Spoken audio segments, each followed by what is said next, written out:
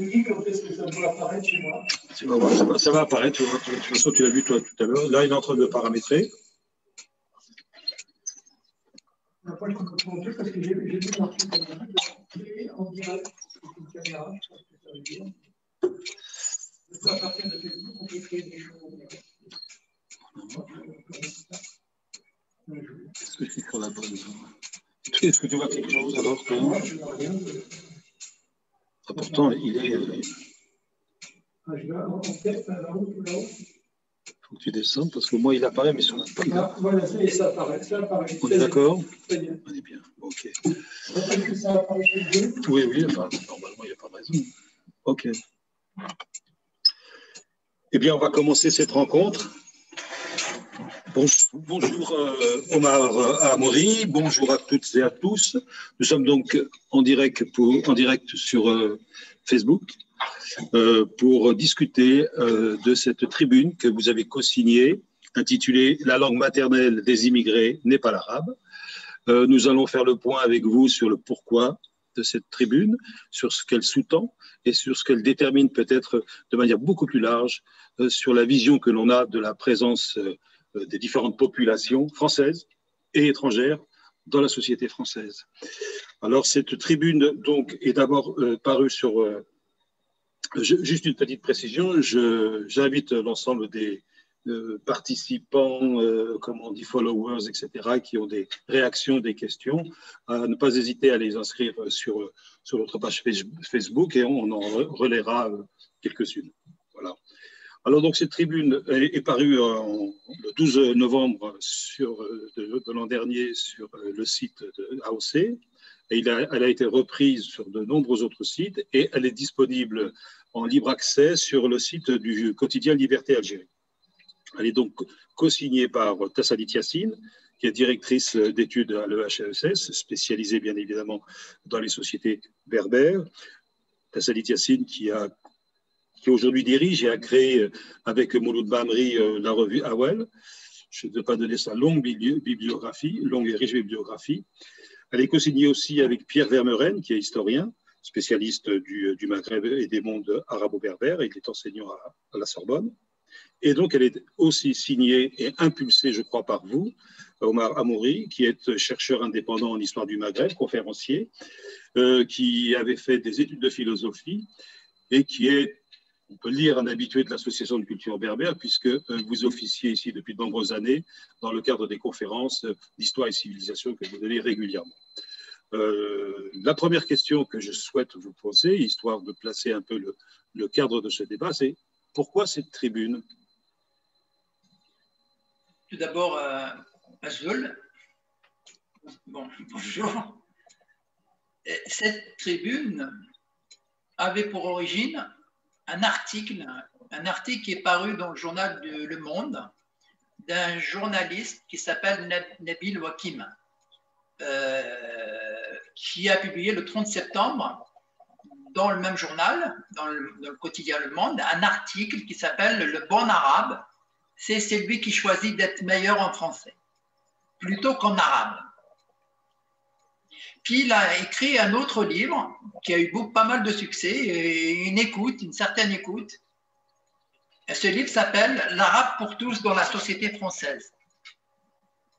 Bien, c'est un point de départ. Mais alors, le point majeur et le point d'ancrage de cette réaction, c'était à la fois la déclaration du président de la République Emmanuel Macron euh, dans sa lutte contre le séparatisme, qui ensuite le ministre de l'Éducation nationale Jean-Michel Blanquer lui a emboîté le pas le 6 octobre 2020 en, exprimant sa volonté de renforcer et de normaliser l'enseignement de l'arabe pour éviter que des structures périscolaires, c'est-à-dire des, non scolaires pour dire les choses clairement, prennent à leur compte l'enseignement de la langue arabe. Ce qui fait que ça, ça euh, c'était le point de départ donc de, du ministre.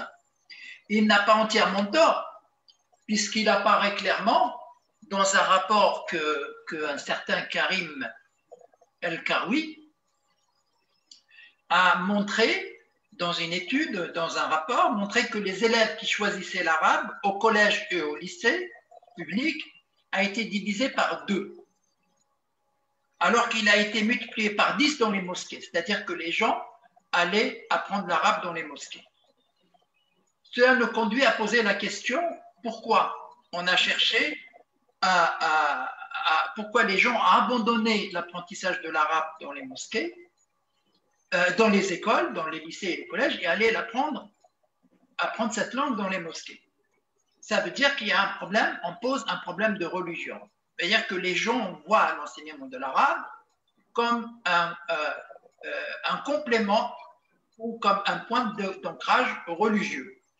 Oui, si, si, si je résumerais, c'est-à-dire qu'on a une double dynamique. On a d'un côté un, journaliste qui, nous parle de transmission, de son rapport culturel et quasi filial à, à, une langue, et de l'autre côté, des déclarations qui renvoient l'arabe finalement et l'étude de l'arabe parce qu'il y aurait un problème euh, ou de séparatisme ou euh, d'intégrisme euh, au sein de la société. On a donc deux, débats différents. Tout ça rentre dans cette logique-là. Et puis, on sait très bien que ce, problème, le problème de l'arabe, les déclarations de, Blanquer a, soulevé beaucoup de passions à l'époque euh, et des interrogations aussi, pas, seulement des passions, mais aussi des interrogations. Cette langue apparaît, donc l'arabe, je parle de l'arabe, comme, un, comme instrumentalisé d'une façon euh, politique et qu'elle n'est pas enseignée dans, euh, dans le but, comme disait Blanquer lui-même, comme une langue civilisée civilisationnelle. Or, ce n'est pas le cas. Et donc, mais le fait d'associer euh, euh, la langue à une religion, puisqu'on on veut contrôler la diffusion de la religion en, en enseignant l'arabe, semblait surtout être, semblait sous-tendre que toute l'immigration et les enfants de l'immigration étaient arabes ou arabophones, donc musulmans ce qui ne, correspond pas du tout à la réalité sociologique de la France. On sait très bien qu'il y a des Turcs, il y a des Africains qui parlent le Bambara, il y a des gens qui parlent le, des, des Peuls, des Swahili, et qui sont des musulmans, mais non arabes. Dans ce cas-là, euh, moi, j'ai eu l'impression que euh, le ministre de l'Éducation nationale a considéré d'emblée que toutes les populations issues d'Afrique du Nord étaient arabes. On est dans la problématique euh, coloniale. On est vraiment dans la problématique coloniale. Que toutes les du Maghreb étaient forcément arabes, un peu comme je disais, comme pensait autrefois euh, Napoléon III qui disait qu'il faut construire un royaume arabe en, en Algérie. Et donc, à partir, à partir de ce point de vue-là, nous avons réagi parce que les enfants, comme je, le disais tout à l'heure hors antenne, les enfants de parents euh, berberophones, surtout en France, ne parlent pas l'arabe. Ne parlent pas l'arabe. Ceux qui sont de parents arabophones peuvent parler la darija, la, langue, la langue commune, la langue, euh, euh, voilà, la langue de, qu'on utilise dans, dans la rue mais les enfants de parents kabyles, surtout ceux qui communiquent avec leurs enfants en kabyle, leur transmettent d'abord le berbère, la mazir. Donc à partir de ce problème-là, on a considéré que la langue maternelle des, des, immigrés n'était pas l'arabe. Et c'est un point sur lequel nous avons voulu attirer l'attention en disant, mais eh oh, attendez. Et on a eu des réactions on a eu pas mal de réactions politiques. juste, une, précision, quand vous parlez d'immigrés, c'est un terme générique euh, qui cache une réalité autrement plus complexe, c'est-à-dire qu'il y a effectivement des immigrés, comme il y a des étrangers, comme il y a des Français qui ne sont même plus euh, immigrés ou, ou peut-être d'origine immigrée. C'est donc une vaste population qui, qui, qui, est, concernée, pas seulement l'immigration. Il y a des Français d'origine kabyle ou berbérophone ou d'origine berbère qui ne sont plus, qu'on ne peut plus rattacher, sauf par une trajectoire, à l'immigration. C'est une réalité sociologique. Mais tout à fait, vous avez bien résumé la situation, Mustafa. C'est, le terme d'immigré est un terme générique, mais la situation est beaucoup plus complexe. Hein. Vous savez, nous avons des gens qui sont français depuis quatre générations, et, voire plus. Hein. Moi, euh, personnellement, j'ai un oncle dont les enfants ont disparu dans la société depuis 1935. Donc euh, voilà. le problème, si on a utilisé le terme générique, euh, immigré, c'est pour euh, mieux transmettre un message, sachant que les enfants sont euh, français. Il y a pas, le problème ne se pose pas en ces termes-là. Donc, euh, nous avons. Alors, hum, effectivement, puis nous avons été confrontés donc, à, cet article, du Monde qui, lui, a utilisé le mot arabe il s'appelle Nabil Wakim, a utilisé le, mot arabe vraiment dans le concept colonial, que tous les gens qui viennent du Maghreb ou d'Afrique du Nord sont, euh, sont arabes. Et c'est ça qui est, l'erreur. À partir de là, on a estimé que l'arabe ne doit pas être la seule langue dans ce débat-là. C'est pas langue. Parce que la langue on a, insisté que la langue, la langue de l'immigration ou la langue des Français d'origine Afrique du Nord est bien multiple. On a, on a l'arabe parlé, et même pas l'arabe classique, l'arabe parlé, et on a le tamazir, et on a le berbère. À ce propos, hein, pour cadrer un peu le, débat, euh, est-ce qu'on a une idée du nombre de berbérophones euh, au sein de l'immigration ou des populations issues de l'immigration algérienne en particulier, pour qu'on ait un peu euh, une base euh, numérique, comme disait le, camarade Staline. Combien de divisions il y a derrière le terme, effectivement, population berbérophone en France? Quand on fouille bien, il y a eu plusieurs articles qui ont été publiés ces dernières années. Je parle d'un article qui a été publié en 2007 euh, en février 2007 dans le.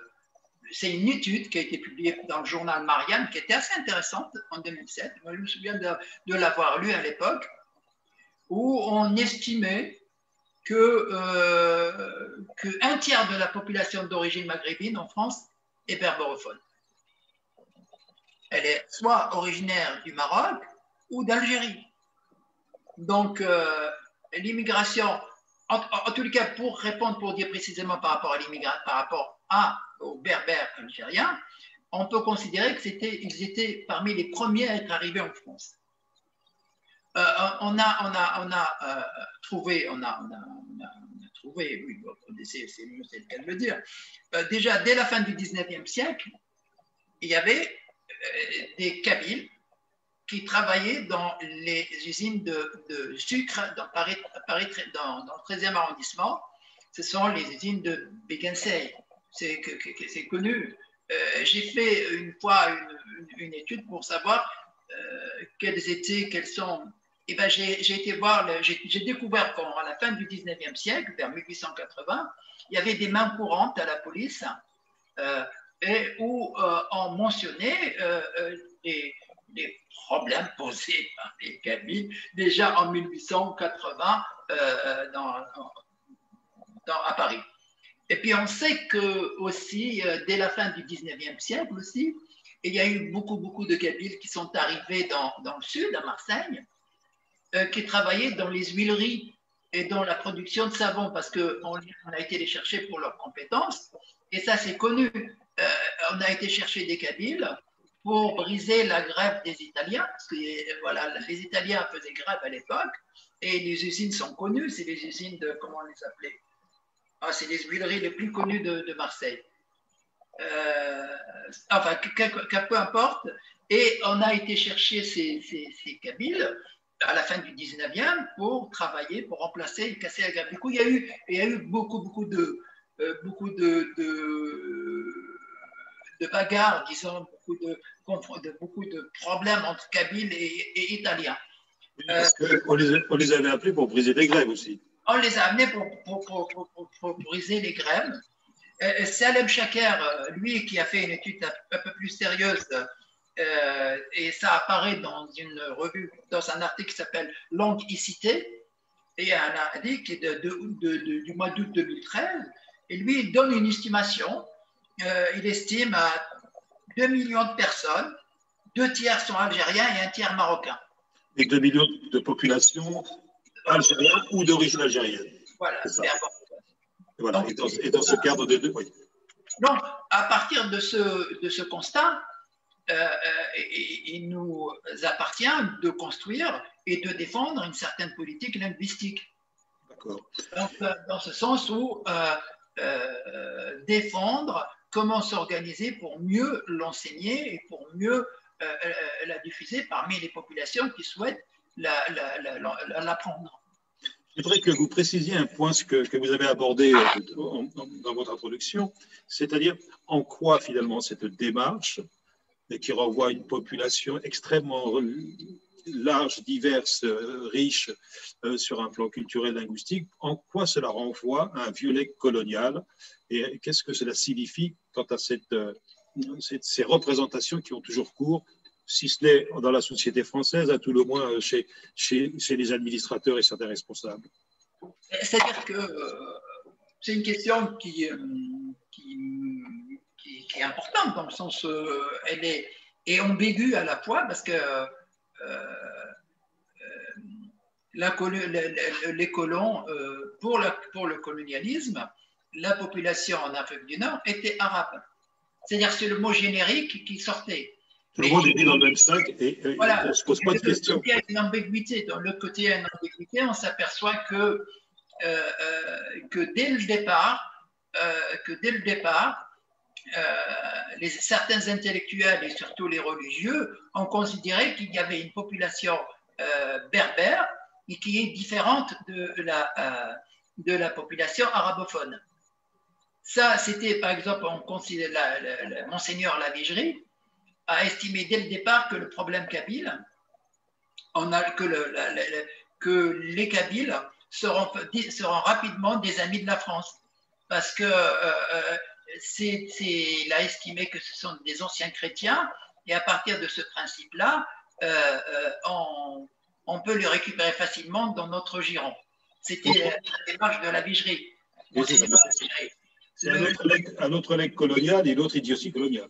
Voilà, à partir de là, mais euh, dans l'approche générale, dans l'approche générale du colonialisme, c'était des Arabes, tout le monde était arabe. C'est pour ça que quand je parlais du royaume arabe de Napoléon III, pour lui, il voulait confier ce royaume, euh, euh, c'était généreux de sa part, de la part de Napoléon III, de vouloir construire, parce qu'il voulait dans ce royaume que les, que les Arabes, tous les Arabes, y, compris les, Berbères, y compris les Berbéropodes, soient intégrés dans ce royaume sous l'autorité d'un roi, d'un chef, d'un monarque, il a confié, cette, il a voulu confier cette, cette responsabilité ou cette charge à l'Imir Abdelkader, mais l'Imir Abdelkader était déjà euh, euh, parti et on l'a déjà envoyé en Syrie, il a refusé de revenir.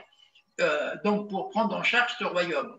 À partir de là, pour lui, tout le monde était arabe. L'ambiguïté est créée là, avec cette notion du royaume arabe. On crée l'ambiguïté coloniale. Et, d'une certaine façon, on sait que le colonialisme a, fait naître, et c'est assez ambigu, parce que le colonialisme français a fait naître, euh, d'une certaine façon, une conscience berbère, mais, mais d'un autre côté, il avait une politique qui, a, qui, a, qui cassait cette conscience. C'est ça qui est extraordinaire, parce que euh, euh, au départ, euh, comme je l'ai souvent dit dans les conférences, euh, en, tant que, en tant que Kabyle, en tant que Berbère, on n'avait pas conscience réellement d'exister en tant que nation. Et une fois que le colonialisme est arrivé, on a commencé à se sentir qu'on est. Parce que, parce que avant le colonialisme, on était à l'époque de, l'Empire ottoman euh, et on était sous la, domination ottomane, mais du coup, les Kabyles n'avaient.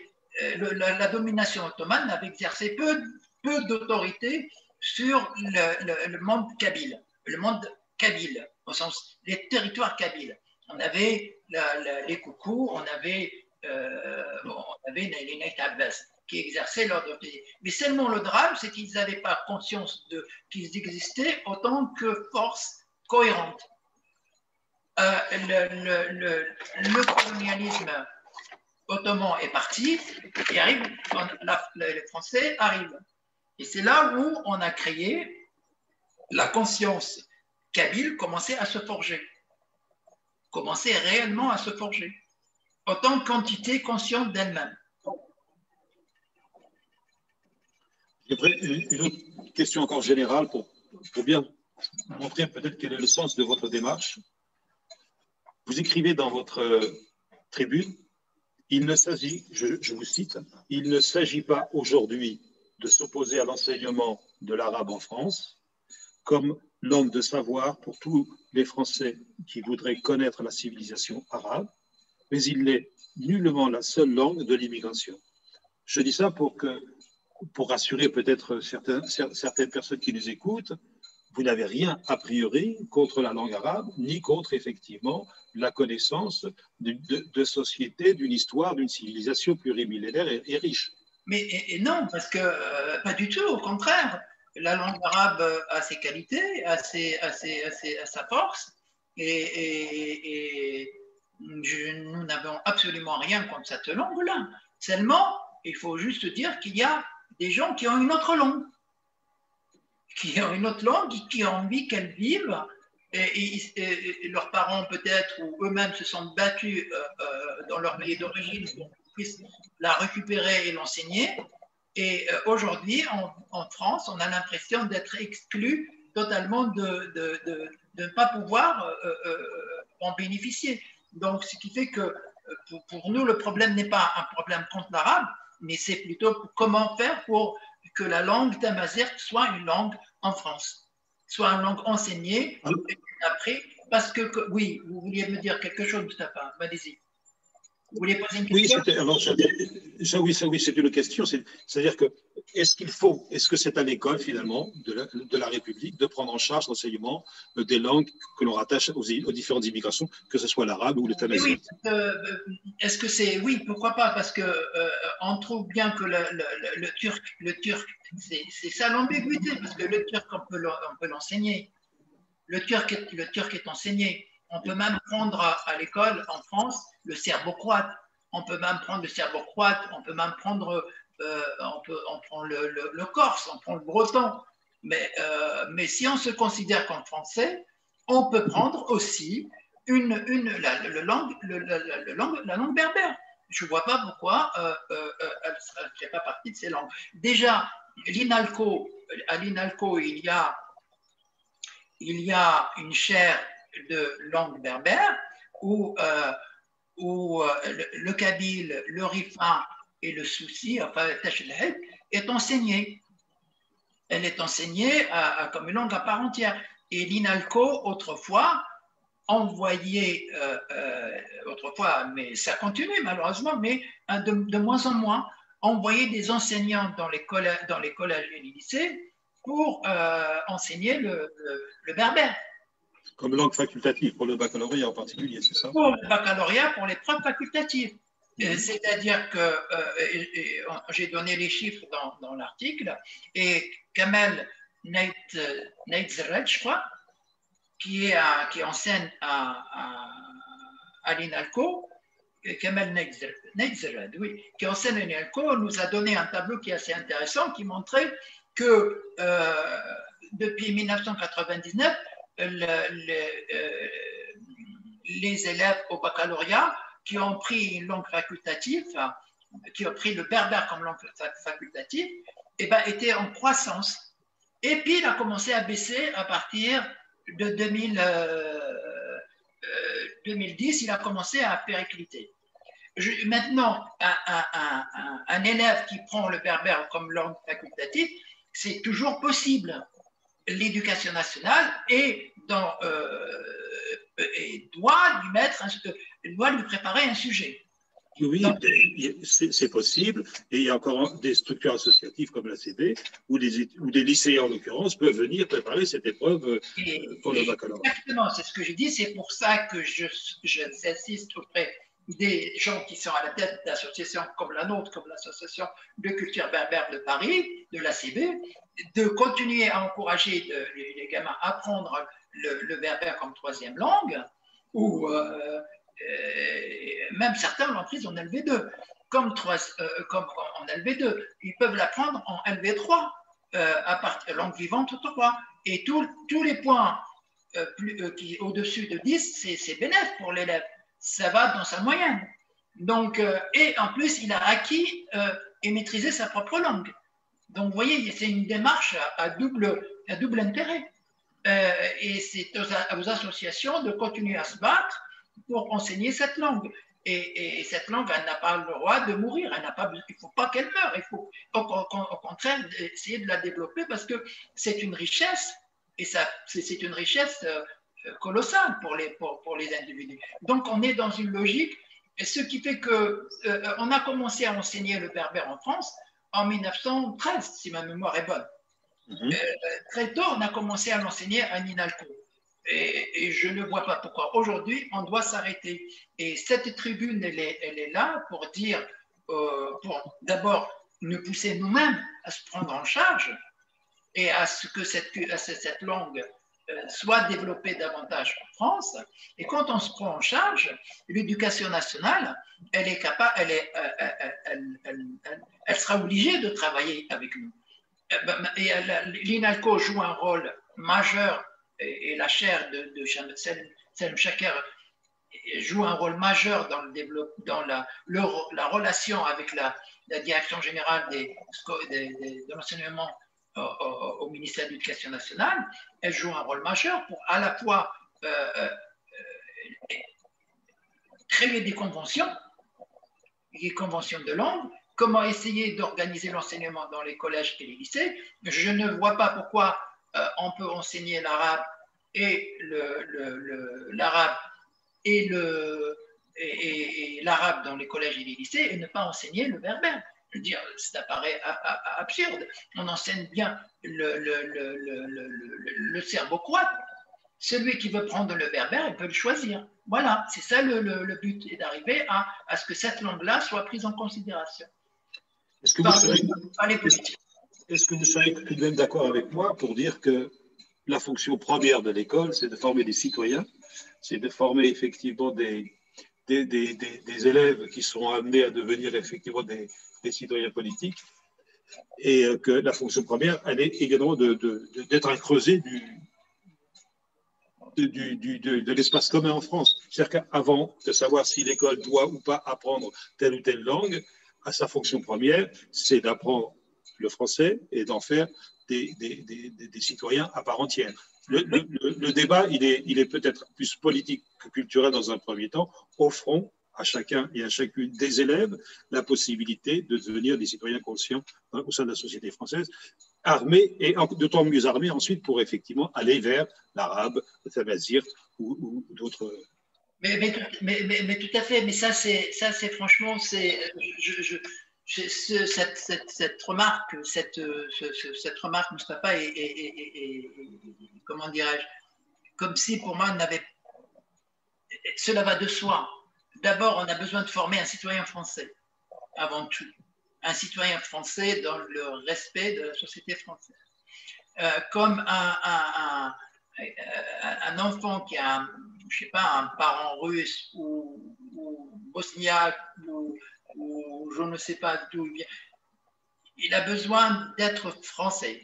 Mais d'un autre côté, on ne peut pas minorer cette langue parce qu'elle est à la fois, elle forme aussi la personnalité de ce jeune Français comme avec sa spécificité. On ne peut pas lui, tuer sa, spécificité à lui. Il est français. Je veux dire, on peut avoir un russe totalement français, mais lui, il apprend son russe.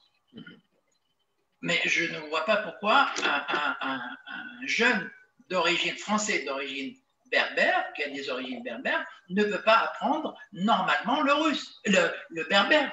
C'est, mais avec l'essentiel du message est que faisons d'abord de ces enfants des citoyens français. C'est l'essentiel du message. C'est vrai que vous soulevez une question importante, qu'on ne peut pas ne pas soulever, y compris au sein d'une structure comme la CB, c'est que qu'est-ce qu'il y a comme négation psychologique, culturelle, identitaire, familiale, trajectoire, etc., à ne pas reconnaître cette dimension euh, berbère euh, au sein de la société française. Et quels sont les, effets qui peuvent être dévastateurs parce qu'on peut aussi finalement euh, mêler à cela des confusions identitaires.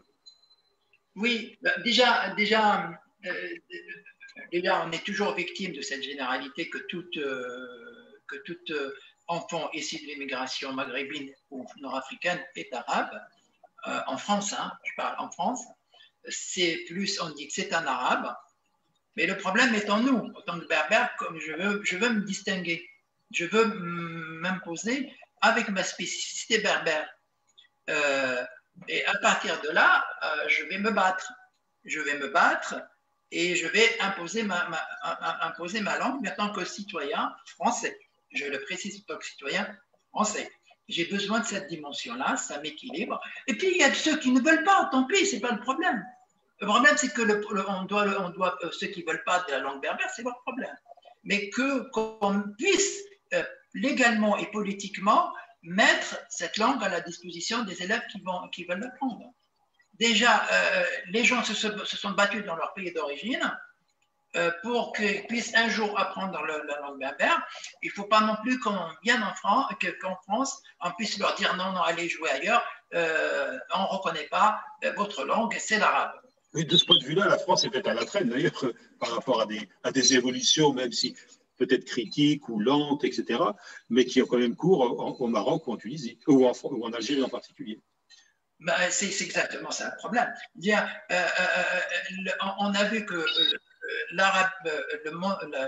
l'arabisation et l'islamisation de l'Afrique du Nord a été un phénomène culturicide qui a, a vraiment euh, tué euh, presque totalement, hein, parce que la survivance est minime aujourd'hui, hein, mais la présence arabe et musulmane a été une présence culturicide. La culture a pris un coup, a vu un coup depuis le Moyen Âge. Et, après, on a continué à, vouloir tuer toute cette dimension berbère des citoyens berbères. Et, à partir de ce problème-là, il faut plus se laisser faire, dans le sens où on a besoin de sauvegarder notre, notre culture, notre identité, notre langue. C'est une richesse, on n'a pas besoin de la laisser mourir. L'arabe, c'est une langue, elle appartient aux gens qui veulent la défendre, mais le, le c'est une langue qui ne doit pas non plus disparaître et qui doit même être revendiquée en France parce qu'il y a une population française d'origine euh, berbère. Donc, à ce titre-là, on doit la revendiquer et, de la défendre. Vous, vous, évoquiez effectivement le legs colonial, cette façon effectivement de, pratiquer une forme d'indistinction face à des populations que l'on considère comme inférieures. Donc, on a peu le, souci de, distinguer, de le prendre en considération. Mais est-ce qu'aujourd'hui, il n'y a pas d'autres éléments qui, viennent, qui interfèrent sur le fait qu'on ait soit de l'ignorance, soit des volontés politiques qui, conduisent à, minorer finalement la présence berbère, la langue berbère en France. Est-ce qu'il n'y a pas des considérations interétatiques? Est-ce qu'il n'y aura pas des considérations économiques? Que vous parliez tout à l'heure effectivement des, moyens dont disposent un certain nombre de structures pour enseigner l'arabe, voire pour enseigner aussi la religion musulmane. Euh, toutes ces considérations tout à fait modernes en l'occurrence, politiques, géostratégiques, interétatiques, financières, n'interfèrent-ils pas face finalement à des populations qui ont très très, très peu de soutien en France Je parle des berbères, des berbères fond en général. Il y a, oui, mais votre analyse est, absolument juste. Hein. Ton analyse est juste. Euh, seulement, euh, moi, il me semble qu'il euh, y a une telle ambiguïté dans, une ambiguïté dans le discours français. Dans le discours français, on est, on est et puis, il faut distinguer le discours politique et le discours du français lambda. Parce que dans le discours politique, effectivement, tu l'as si bien dit, on est on marche sur les œufs, parce qu'on a quand même on a des relations interétatiques. Et en France, comment on peut dire ça? L'imaginaire moyen français considère que le berbère est supérieur à l'arabe. Euh, ça, c'est l'imaginaire moyen berbère. Ah, tu, es berbère, tu es kabyle, tu es, tu tu tu Donc, à partir de là, euh, oui, je sais qu'à la fois, on ne va pas essayer de. On, a euh, l'État français, ou politiquement, on ne va pas essayer, on va pas choquer l'Algérie ou, le Maroc, l'Algérie en particulier. On ne va, pas les choquer en essayant de cautionner une politique berbère ou en, en aidant les berbères en France d'une façon euh, claire et évidente. Euh, bien sûr, ils ne vont pas le faire. Euh, mais de l'autre côté, je pense qu'il y a beaucoup de choses qui est fait pour. qui qui parce qu'on a un soutien populaire en France malgré tout. On a un soutien populaire, il existe. On a, on a des associations qui, qui militent pour la diversité culturelle des, gens d'origine étrangère, pas seulement berbère il y a beaucoup d'associations, il, il y a des politiques qui, qui, sur lesquelles nous pouvons s'appuyer, qui peuvent défendre la culture de la mer euh, et qui peuvent l'amener euh, là où il faut et la poser là où il faut. Donc euh, là, il faut continuer, continuer à se battre pour pouvoir un jour arriver à, à avoir des enseignants qui, à l'école, puissent enseigner cette langue. Voilà, c'est ça le but, et qu'on puisse la, considérer comme une langue à part entière, et qu'on ne tombe pas dans le piège, euh, des pays d'origine, parce qu'on on dit que c'est, oh, finalement, c'est la langue arabe qui est leur langue. À partir de là, il faudrait, il faudrait se battre, continuer à se battre, ça ne sera pas la première, le premier papier qu'on va écrire, ni le deuxième, ni le deuxième, mais ça va être, ça, on va poursuivre notre lutte. On va poursuivre notre lutte pour pouvoir arriver à un résultat et on va s'appuyer sur des politiques françaises. On parle beaucoup de langue, et effectivement, c'est central dans une culture. la, la, langue porte aussi un, rapport au monde, un imaginaire. Mais vous le disiez aussi, et je pense que c'est euh, une constante dans les différentes histoires migratoires, c'est-à-dire que le, au fil du temps et des générations, finalement, le rapport à la langue d'origine tend à se à, se, distendre. Euh, on parle moins en moins la langue des parents et des grands-parents lorsqu'on est effectivement installé dans un pays, une société, une nouvelle société. Mais ça ne veut pas non plus dire pour, pour autant qu'on ne maintient pas un lien culturel fort, des pratiques culturelles, un rapport en l'occurrence au pays d'origine, etc. Donc on peut très bien ne pas euh, de, moins parler aujourd'hui Samazir, tout en restant profondément attaché à une histoire, à une civilisation, à une sagesse. C'est-à-dire que euh, lorsque vous dénoncez euh, le fait qu'effectivement on réduise l'immigration ou les populations d'origine algérienne, etc., ou, ou nord-africaine à une langue, on fait aussi le deuil peut-être d'un rapport civilisationnel à ce que portent ces mêmes populations, fût-ce en ne parlant plus la langue des parents. Euh, oui, exactement. Euh, le, problème est extrêmement bien posé euh, parce que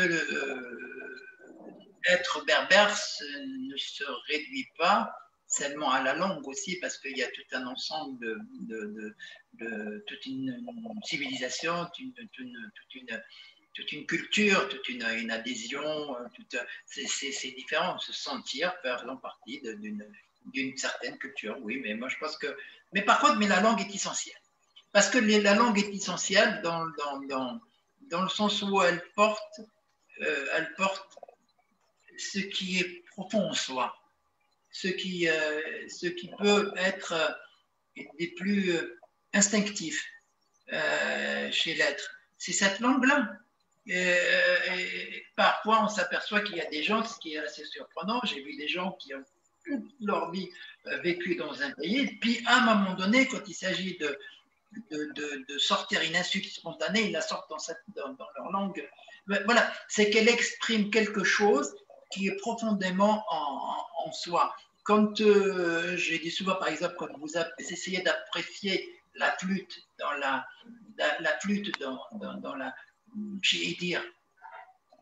euh, apprécier la flûte, j'ai dire, c'est que franchement, il y a un lien extrêmement étroit entre la flûte et, et l'imaginaire, Vous ne pouvez pas dissocier cette flûte parce que cette flûte-là parle, euh, est un bien complètement immatériel.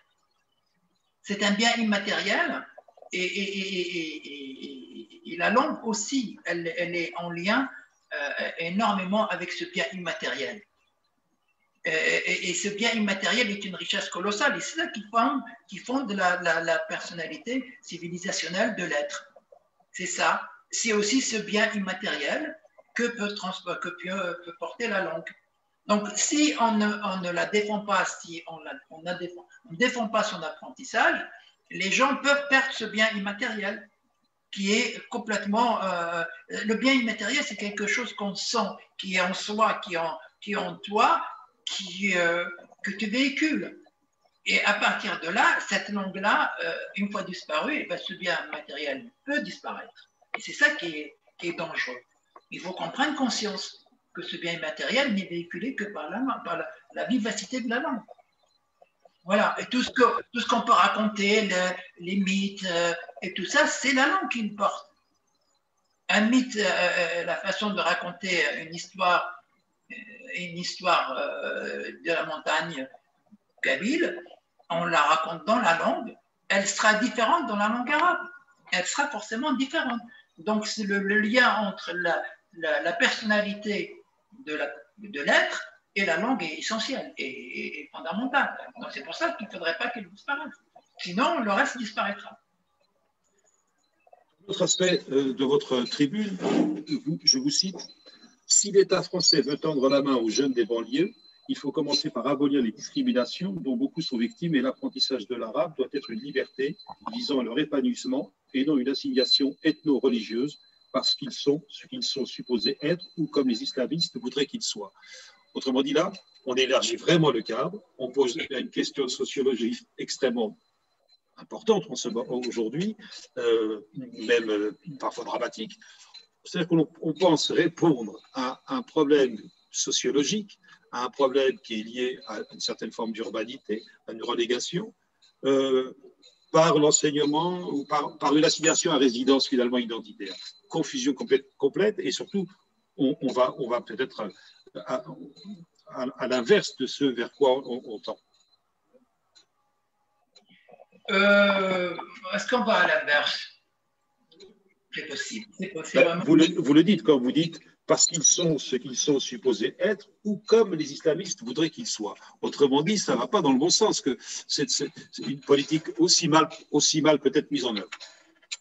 Ben, en tous les cas, il y a euh, cette façon de vouloir, euh, de vouloir euh, considérer que l'arabe est la langue de l'immigration, ou des jeunes, des enfants nés dans le, les Français nés de cette immigration-là, euh, est une façon, est une, est une manipulation. Est une manipulation dans le sens où euh, on veut combattre, on veut combattre un islamisme, le séparatisme en question, en utilisant, en utilisant la langue, en disant qu'on va essayer de, de, de retirer cette langue euh, et la rendre plus laïque. Euh, je m'explique. Hein. J'ai très bien compris votre question, mais laissez-moi deux minutes pour développer. Euh, on, veut, on veut essayer de la rendre plus laïque en la ramenant à l'école, parce qu'en la laissant entre les mains, entre les mains de, dans les mosquées, elle sera manipulée et, et qui est de cette façon-là un des facteurs de séparatisme un des multiples facteurs du séparatisme. À partir de là, il est évident que la politique française qui a été menée jusque-là, dans les quartiers, a été une catastrophe. A été une catastrophe et c'est une évidence. Euh, euh, depuis, euh, depuis Jospin, depuis bien avant Jospin, on a complètement ignoré les quartiers difficiles et les banlieues on les a, il y a eu il y a une politique de discrimination qui est évidente. Il ne faut pas se voiler la face. Il ne faut pas euh, y a 2 ou 3% qui ne sont pas touchés parce qu'ils ont réussi dans leur vie, mais la majorité euh, souffre de cette discrimination. Donc, à partir de là, si on veut vraiment que, régler ce problème, qu'on commence d'abord par faciliter l'intégration de ces jeunes-là et de les considérer, de les considérer comme faisant partie du nous, du nous national.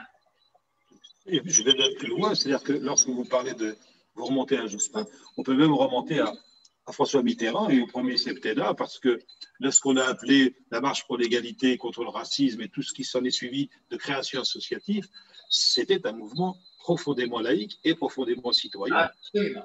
C'était un mouvement profondément laïque et c'est justement ce laxisme et ce, ce rejet, je ne sais pas pour quelle raison, on n'a pas fait grand-chose pour les intégrer, pour leur dire venez, vous faites partie du nous. Il est vrai que de l'autre côté, l'intégration est individuelle. Démerde-toi, tu trouves ta place dans la société. Il est vrai qu'elle existe, qu'il faudrait aussi attendre, pas l'intégration du groupe, mais l'intégration individuelle. Certains arrivent à tirer leur épingle de jeu et s'intègrent et trouvent leur truc et vivent, et vivent normalement dans les beaux quartiers. Mais d'une manière générale, le, cet ostracisme est, fort dans le travail. Quand on a du mal à trouver du travail, et ça j'ai insisté, cette, conclusion, elle est, elle j'y tiens énormément, parce que quand on on n'a pas de travail, on est déclassé, totalement déclassé. On est vraiment, euh, euh, on souffre, on est, euh, mais on le, on le voit dans les quartiers pour vivre, il faut aller, aller les voir, comprendre que, que les gens souffrent, dans le sens qu'il ne faut pas trop non plus les accabler. Il y a des intégrations individuelles, mais la politique française a été d'intégration a été un échec. C'est pour ça que j'ai conclu en disant qu'il faudrait d'abord réformer la politique d'intégration afin de, pour ne pas arriver à, à ce jeu-là malsain, à savoir euh, je vais m'appuyer sur le. D'ailleurs, on, l'a fait, on s'est appuyé sur les islamistes pour essayer d'avoir la paix dans les quartiers. C'est absolument euh, absurde. Or, ce n'est pas ça qu'il fallait faire. Avant de, revenir à quelques questions qui nous viennent de, de, Facebook, euh, encore une petite question. justement, est-ce que est-ce que ce n'est pas seulement, euh, euh, vous dites, les populations euh, berbères, berbérophones sont les grands perdants de cette politique. Est-ce que la France n'est pas elle-même la grande perdante finalement de ces politiques, dans la mesure où, en ne reconnaissant pas la diversité culturelle, linguistique, humaine, la richesse de ces, populations immigrées d'origine immigrée d'Afrique du Nord, est-ce que ne se tire pas une, une balle dans le pied Parce que c'est peut-être cette diversité qui serait le véritable rempart à toute forme de séparatisme? D'enfermement dans ce qu'on appellerait le culte de l'unique. Oui, non, mais ça, la France est, quelque part toujours victime de son, de son aspect jacobin. Il y a que euh, euh, voilà, c'est ce côté jacobin. On a, on a, on a, la France, pour exister en tant que pays, pays unitaire, uni, euh, on, a quand même, on a quand même tué les langues régionales. Euh, a quand même tué les, langues régionales et il était interdit de parler breton en Bretagne. Euh, dire, euh, il était même interdit, il était même mentionné sur certains, sur certains à l'école, il était interdit de cracher et de parler breton. c'est ça, c'est le côté, côté français. Mais on n'est pas, aujourd'hui, on n'est plus dans cette logique-là, même si la France reste complètement influencée par ce côté jacobin mais elle est complètement euh, la tête qui les têtes ne doivent pas dépasser. On va être tous. Euh, mais quand je disais ça, je renvoyais surtout à l'image que finalement les institutions, euh, justement des prises de position publiques, voire les déclarations des uns et des autres, renvoient finalement comme image notamment aux jeunes générations. C'est-à-dire qu'effectivement, le fait d'enfermer les uns et les autres dans des représentations qui n'ont pas cours, qui, ne devraient plus avoir cours, si on fait référence effectivement aux legs et qui n'ont pas cours parce que la réalité, est ce que vivent ces jeunes en particulier sur le plan, comme vous le disiez tout à l'heure, en famille, euh, les références, que ce soit linguistique, que ce soit les références culturelles, etc., ne se résument pas à une culture, à une langue. En niant finalement cette diversité, euh, on crée euh, des, des, des, des, malaises, euh, des frustrations, voire des dérives vers des identités de substitution qui ne correspondent pas du tout à la réalité et aux trajectoires. Mais je n'ai rien à rajouter sur ce que, ce que, tu viens de dire. Mais tu as bien résumé la situation. c'est une erreur. C'est une erreur de ne, pas, de ne pas comprendre que la diversité est une richesse. C'est une, c'est une, c'est une, c'est une erreur. On, a, on continue, et en plus avec la montée aujourd'hui euh, d'une pensée euh, qui est un peu euh, nauséabonde, qui considère qu'il faut vraiment se considérer toujours du même moule. Si tu veux, tu veux, mais être français, ce n'est pas forcément faire partie du même moule. Être français, si je peux, je peux me sentir français, mais je suis fondamentalement russe, je suis fondamentalement euh, chez moi avec, avec une culture russe, une culture euh, berbère, une culture arabe, une culture euh, autre. ce n'est pas une tare. Les appartenances antagonistes, comme disait Tao Samrouche. Comme disait Tao Samrouche, je ne disais pas absolument. Comme disait, c'est un, ce sont des compléments et en société, je suis complètement français.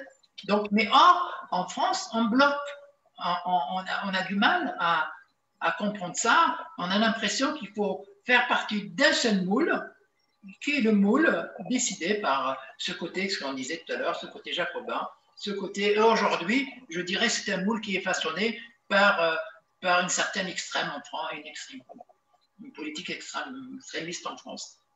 À la rigueur, quand tu, tu parles du berbère, les gens ils disent que c'est des Arabes. Voilà, on, est, dans une situation compliquée. En France, on a du mal avec la multiplicité culturelle et la diversité culturelle. On a du mal. Ce n'est pas le cas dans d'autres pays, parce que c'est le modèle français. Ce n'est pas le cas en Angleterre, ce n'est pas le cas ailleurs. Mais le modèle français. Ce qui lève aussi par ailleurs d'autres difficultés. Euh, et, la vie en société, surtout dans une société multiculturelle, euh, n'est pas un long fleuve tranquille, que ce soit en Angleterre ou en France. Mais je ne, je ne parle pas de société multiculturelle, je parle de société des gens à dimension culturelle différente. C'est une grosse nuance. Mm-hmm. Les gens qui ont, euh, moi personnellement, en société, je suis, euh, je suis français, et je peux rester chez moi, je peux manger des merguez, je peux manger des, mon couscous, je peux manger, et je peux parler ma langue. Donc, euh, à, partir de là, mais cette dimension-là, elle peut, euh, on veut la, on, on, a du mal à l'accepter en France et à aider, à aider à ce qu'elle existe aussi. C'est ça qui est, à aider, à faire de façon à ce qu'elle continue à exister. On voudrait que l'individu se désintègre. Oui, c'est-à-dire qu'effectivement, la diversité, ça suppose, comme disait euh, un penseur, philosophe d'origine iranienne, Darius Shayagan, il faut offrir à chacun et à chacune une boîte à outils qui lui permettent de vivre ses appartenances multiples, ses appartenances plurielles, vivre la diversité et vivre, euh, comment dire, euh, notamment pour les plus jeunes, être capable de, jongler avec ces appartenances plurielles. Mais les gens, Laurent, les gens, euh, si les gens se sentent bien dans leur peau, s'ils sont bien intégrés, c'est un phénomène psychologique et jonglerait facilement, et jonglerait facilement avec ces, diversités. C'est ça, il, y a, il y a un primat. D'abord, si on est bien intégré, si on est, on est considéré comme faisant partie du nous, cette, cette dimension en particulier de l'être, de l'individu, elle ne posera pas de problème parce qu'ils sauront, on est bien à l'aise, on est bien tranquille dans cette. il y a des populations d'origine maghrébine qui sont, je parle particulièrement de la communauté juive, qui sont totalement intégrés, qui sont, mais qui gardent leur dimension, leur dimension à la fois culturelle, par exemple des juifs d'Afrique du Nord, qui gardent leur dimension. Et, parfois, et, parfois, et souvent berbères. Ils gardent leur dimension culturelle, ils gardent leur. leur, mais d'un autre côté, euh, on s'aperçoit qu'ils sont complètement dans la société française. Ils sont français. C'est ça que je veux, on veut, je veux accéder à ça. Je veux que, par exemple, à l'école, ils vont apprendre l'hébreu sans aucun problème. Tu n'entends même pas parler d'eux. Ils sont en train d'apprendre l'hébreu. C'est pour ça que je veux, par exemple, que les peuvent apprendre l'hébreu tranquillement. dans sa logique et compléter sa dimension, sa dimension française par sa culture euh, berbère. Donc, euh, je ne vois pas où est l'inconvénient. Donc, c'est à nous de se battre, ce n'est à personne d'autre, c'est à nous de se battre pour euh, créer ce climat, exiger de plus, en plus que, la langue soit euh, euh, demandée, qu'elle soit reconnue, et pouvoir l'enseigner, pouvoir leur permettre aux enfants de passer le bac, aux élèves de passer le baccalauréat en langue vivante, ainsi de suite. C'est tout, ce sont des éléments qui ont l'air mineurs, mais c'est ça qui fait qu'à la fin, on a des gens qui sont français, mais avec une dimension culturelle supplémentaire. Je vais vous proposer euh, deux, trois réactions que, que, l'on a reçues euh, sur euh, le compte Facebook de l'ACB. Surtout pour ceux qui le souhaitent, parce qu'il y a des gens qui n'ont pas envie de rester là, qui ont envie de, devenir totalement français, c'est leur problème. Bien sûr. Alors, deux, trois réactions. un une, question un peu technique, euh, je crois que la réponse euh, est facile. C'est euh, qui pose cette question. Existe-t-il des diplômes de CAPES, agrégation de berbère? De CAPES, d'agrégation de berbère Je crois qu'il existe à l'IDALCO. Je pense que l'IDALCO forme, Il forme des masters? Pardon? Je crois qu'il y a des masters.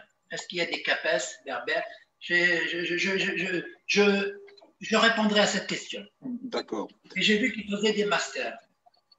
Oui, parce que bon, ils sont, ils, forment en linguistique et ils forment des enseignants et effectivement, ça peut, ça peut aller jusqu'au troisième cycle. Euh, Laurence Berchiche vous pose, c'est plus, c'est plus une, un commentaire peut-être qu'une question. Entièrement d'accord. Mes parents sont kabyles. J'ai toujours vécu en France. Le français est ma langue de sa citoyenneté française le kabyle est ma langue maternelle. Si l'arabe est proposé, je ne vois pas pourquoi pas le berbère, sous-entendu l'école. Mais là aussi, allez-y, allez-y, allez-y. Elle, a complètement, elle a complètement, parce que c'est un supplément de sa personnalité euh, berbère. Euh, et si un, un, enfant se considère comme plutôt arabe et qu'il prend l'arabe parce que c'est sa dimension supplémentaire de français d'origine maghrébine arabe, c'est une dimension supplémentaire on va pas on va pas on doit le laisser développer cette dimension-là. Exactement comme on, est, on doit laisser et, aider aussi à ce qu'un jeune de religieux, de, de, culture berbère puisse développer cette dimension-là. Voilà, ça me paraît tout à fait dans la lutte des choses. Et ça, c'est un combat. C'est un combat qu'il faut, qu'il faut conduire. Elle continue, elle poursuit, mais c'est qui montre à la fois la complexité, les ambiguïtés et l'équilibre à trouver en, en, écrivant Ne laissons pas les jeunes des banlieues apprendre l'arabe. L'école laïque ne peut pas donner un tel enseignement. L'arabe, l'apprentissage de l'arabe a, posé, pose un problème. Euh, souvent, euh, quand, euh, quand si vous décidez d'envoyer votre enfant apprendre l'arabe, euh, on, est confronté à un arabe non laïque. C'est-à-dire que quand l'enseignant, surtout dans les institutions parallèles, les associations, même machin, euh, surtout dans les associations, l'enseignant, quand il va chercher ces, exemples, ces exemples pour enseigner, il va, extraire ces exemples du Coran. Voilà. Donc, on a cette, problématique qui est assez, assez, assez terrible. Au lieu de dire j'ai mangé euh, euh, une pomme et voilà le sujet, le, sujet le, verbe, le complément, il va chercher cette phrase du Coran. Et tous ces textes sont souvent, malheureusement, étaient souvent, et c'est le cas aujourd'hui, c'est pour ça que tout à l'heure, euh, quand ils vont, c'est pour ça que le ministère en France a réagi, parce que le drame, c'est que quand les enfants vont apprendre l'arabe dans les mosquées, eh, il faut comprendre que toute cette littérature est presque religieuse. Tout, l'enseignement est presque religieux. C'est ça qui est, dramatique. Donc, est-ce que, l'arabe, on soulève le problème de la, est-ce que l'arabe peut être laïque? Est-ce qu'on peut euh, dissocier l'arabe du livre religieux?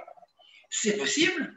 Certains pays l'ont fait mais elle reste malgré tout extrêmement marquée par, la, religion. C'est pour ça qu'il faut encourager que l'arabe soit enseigné plutôt dans les collèges et les lycées publics sous le contrôle de l'éducation nationale pour éviter qu'elle tombe entre les mains des islamistes. Si le développement de l'islamisme tel que nous l'avons vécu ces dernières années, euh, ben, les mosquées ne sont pas, ne sont de... Ils sont complices. Et qu'est-ce que vous répondez sur cet aspect C'est Luc Ferry, je crois, qui a fait cette déclaration, le philosophe, qui a dit que ce serait une absurdité au sens où, finalement, les familles qui souhaiteraient avoir un enseignement particulier sur, de, de, l'arabe et un enseignement en particulier religieux, de toute façon, enverront leurs enfants soit dans les mosquées, soit dans des associations euh, euh, religieuses. Eh bien, eh ben, c'est pas ça que le but quand on veut enseigner l'arabe, et toute, la politique de Jean-Michel Blanquer était de vouloir soutirer l'arabe des mains de ces des mosquées et de ces associations périscolaires qui enseignent l'arabe religieux. Et les parents trouvent un certain, un certain bonheur d'une certaine façon. Leurs enfants apprennent, la religion en même temps que la langue.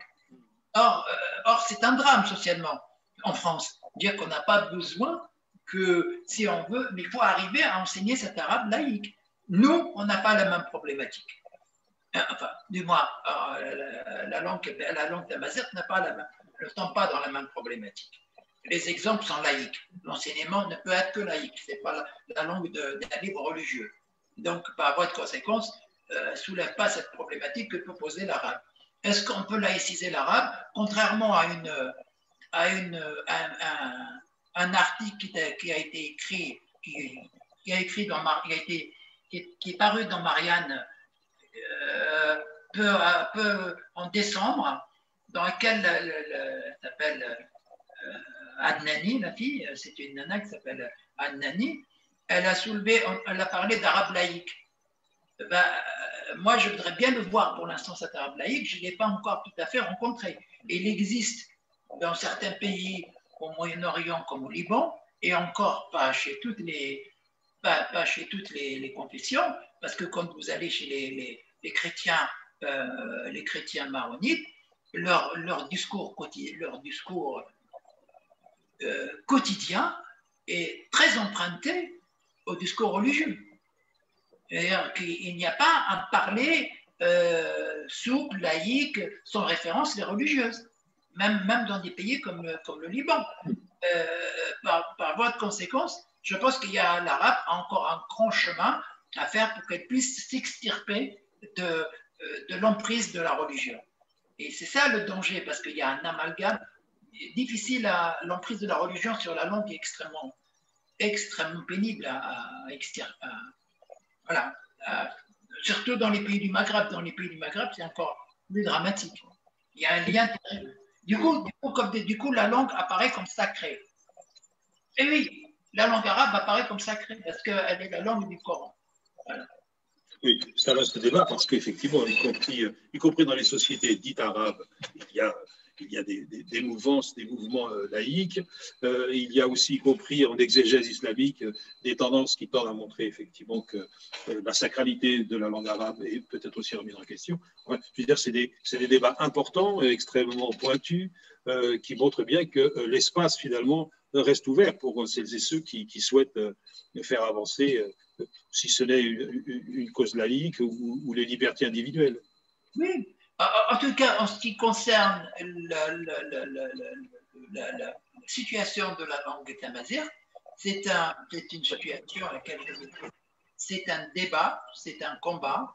Euh, euh, les Berbères ont été euh, ont, souffert de ne pas avoir eu leur langue dans leur pays d'origine, dans le Maghreb, en Algérie, au Maroc. Il fallait attendre très très longtemps pour pouvoir que cette langue soit officialisée. Et par voie de conséquence, on ne veut pas que ce débat euh, soit posé de la même façon euh, en France. On veut qu'il y ait plus de souplesse que euh, la reconnaissance de cette langue, parce que j'insiste encore, cette langue-là, elle n'est pas innocente. La langue berbère, elle est un lien, elle, constitue un lien terrible avec ce qui est en profond de l'être, avec ce que, ce que je disais tout à l'heure, tout ce qui est bien immatériel. Donc tu ne peux pas, si tu casses le lien si tu casses la langue, tu casses progressivement le lien avec ce bien immatériel. Donc c'est ça le gros, il faut poser le problème, et même avec la personnalité berbère. Donc c'est ça le, le, c'est ça le vrai, le vrai problème et l'enjeu majeur de l'enseignement de la langue. Ce n'est pas, ce n'est rien d'autre. C'est pour que la personnalité continue à exister avec la même, avec plus de force, plus de, plus de, plus de, de puissance. Voilà. Une dernière réaction qui, qui concerne l'enseignement de l'arabe, et en l'occurrence pas Bazir. C'est Jidja qui, qui, qui, témoigne. J'ai appris l'arabe, dit-elle, ou, ou dit-il, dans le supérieur en France. Littérature non religieuse et analyse philosophique et littéraire du Coran, entre parenthèses, comme simple objet littéraire. Cela est possible, mais ce n'est pas la demande des parents qui mettent les enfants dans les mosquées. Oui. L'enseignement laïque de l'arabe existe déjà en France. Oui, dans ce que je disais, il faut aller dans.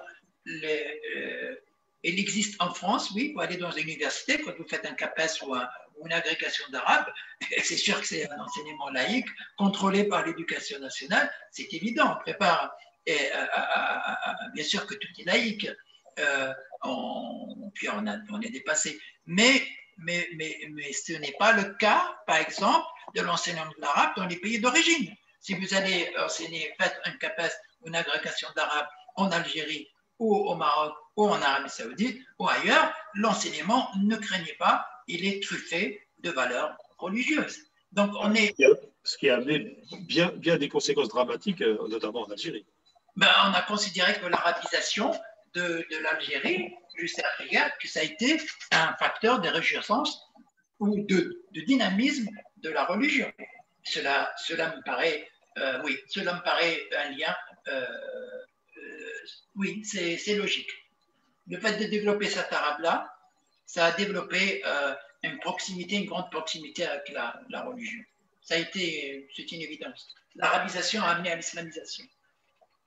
Parce que l'arabe n'était pas laïque. C'est ça. Voilà, donc, et je pense qu'on va en rester là pour aujourd'hui. Je pense qu'effectivement, on a essayé de faire un peu le tour euh, de, cette question et poser un certain nombre de, perspectives à, la réflexion. Euh, Omar Amouri, je vous dis sans doute à bientôt, que ce soit dans le cadre d'une conférence euh, à, la CB ou d'un entretien par Zoom. Et puis, je salue euh, tous celles et ceux qui les ont écoutés et, je vous dis donc euh, à bientôt avec l'Association de culture berbère. À tout Allez.